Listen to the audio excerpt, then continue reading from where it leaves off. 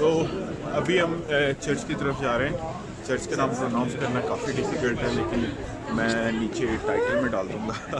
High ए उसके अंदर तो चर्च का नाम प्रोनाउंस करना काफ़ी मुश्किल है लेकिन मैं कोशिश करूँगा कि नीचे यहाँ पे लिखता हूँ ताकि जो जाना चाहते हैं वो पता चल जाए। लेकिन ये बहुत ही यूनिक और जैसे नुमान ने बताया कि बहुत यूनिक और पुराना चर्च है। और पेरिस की ओल्ड सिटी के अंदर है। तो अभी उसकी तरफ़ जा रहे हैं। मैं आपको अगर फ्रंट पे दिखाऊँ तो ये पहाड़ी के ऊपर है। थोड़ा सा आपको वॉक करना पड़ता है स्टेट से।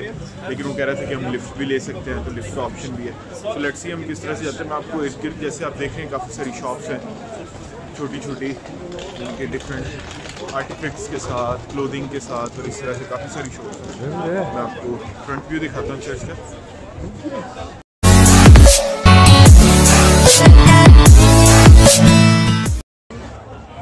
ये चर्च का फ्रंट व्यू है शॉप से गुजरते हुए। ये इस तरह से आपको चर्च नज़र आता है। और ये काफ़ी पुराना बहुत पुराना हिस्टोरिक चर्च है। और इसके बारे में कहते हैं कि इसके अंदर बहुत सारी मेरिकलाइज चीज़ें पड़ी हुई हैं। अभी देखते हैं जाके कि क्या यानी कि इसके अंदर है। ये चर्च के ऊपर जाने का रास्ता है और लिफ्ट भी अवेलेबल है, जैसे कि लोग आप देख रहे हैं नीचे और, लेकिन हम स्टेट्स को चूज़ कर रहे हैं क्योंकि बहुत ज़्यादा रश था।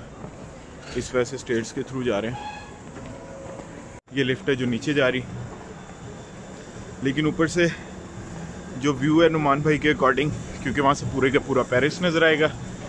So it seems like that it's worth it let's see finally we made it और अभी ऊपर पहुँच गए हैं। बहुत ज़्यादा रश है।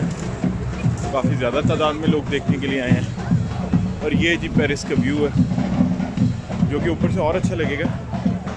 लेकिन यहाँ से भी आपको दिखाते हैं।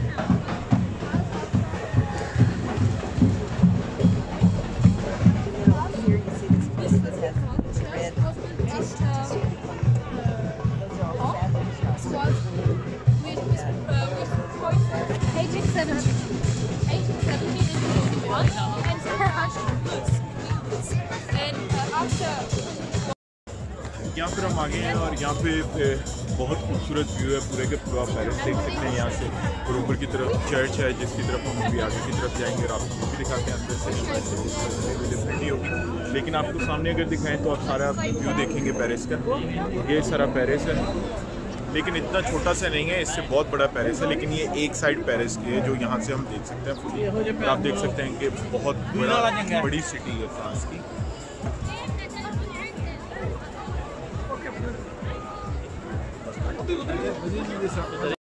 यहाँ पर हम आए थे जो सभी लॉक्स यहाँ पे लगा रहे हैं।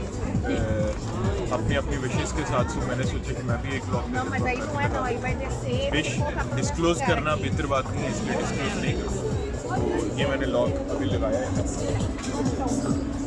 इसके ऊपर नाम लिखवाने के लिए it was a different procedure लेकिन फिर मैंने सिंपली एक लॉक लेके अपनी विश के साथ यहाँ पे लॉक कर दिया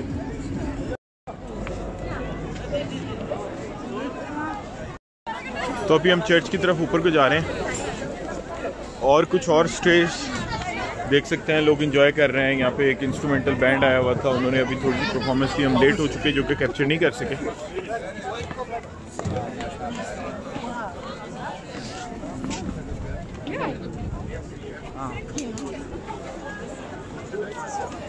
तो ये चर्च का व्यू है, और इसके अंदर अभी हम जाएँगे। ये छोटी छोटी शॉप्स हॉकर्स की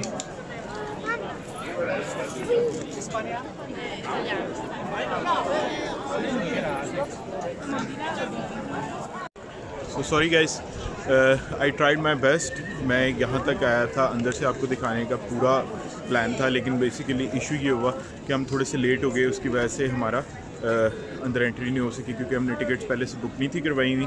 और जिस तरह से मैंने आपको दिखाया कि लाइन बहुत बड़ी थी और काफ़ी सारे लोग थे जिसकी वजह से उन्होंने आज के लिए उसे पोस्टपोन किया और उसे यानी कि पोस्टपोन मतलब यानी कि एंट्री उन्होंने फिनिश कर दी। सो उन्होंने कहा कि आज नहीं होगा, आपको कल आना पड़ेगा।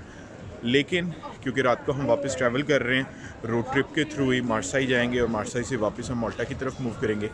सो ये पॉसिबल नहीं हो पाएगा। But I tried my best but still अगर आप एक्सपेक्ट कर रहे थे कि मैं अंदर से भी आपको दिखाऊँ तो उसके लिए मैं एक्सक्यूज़ करना चाहूँगा।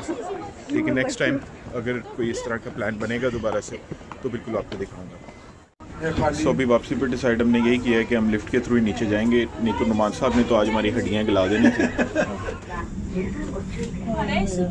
तो अभी लिफ्ट हमने ली है। लिफ्ट से हम नीचे की तरफ़ जा रहे हैं।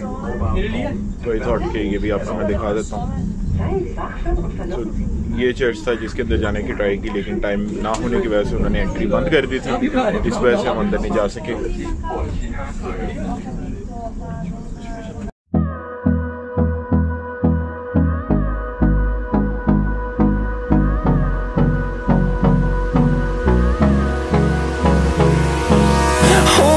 Close till I get up. Time is barely on our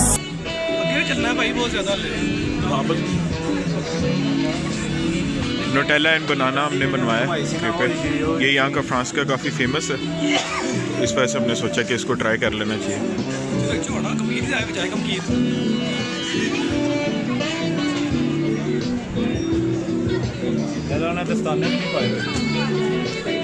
guide और ये Raju guide Raju guide Raju guide जिन्होंने बताया इसके बारे में।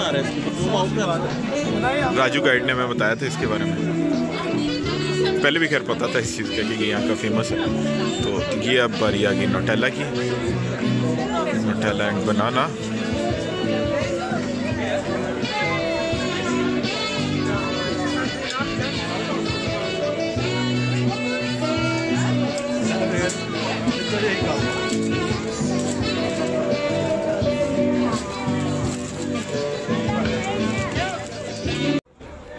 और एक बार फिर से मैं आपको बताता चलूँ कि प्लीज़ आप बहुत प्यार देते हैं, अपना इतने ज़्यादा व्यूज़ देते हैं। मैं इतनी एक्सपेक्ट भी नहीं करता और, लेकिन फिर भी आप काफ़ी ज़्यादा प्यार देते हैं। तो एक लास्ट रिक्वेस्ट आपसे कि प्लीज़ सब्सक्राइब कीजिएगा चैनल को लाइक कीजिएगा और शेयर करें अगर आपको वीडियो अच्छी लगे। और अगर कोई कमेंट्स हों, वो भी आप बता सकते हैं कि किस तरह से इसे मैं ज़्यादा बेहतर कर सकता हूँ। तो thank you very much see you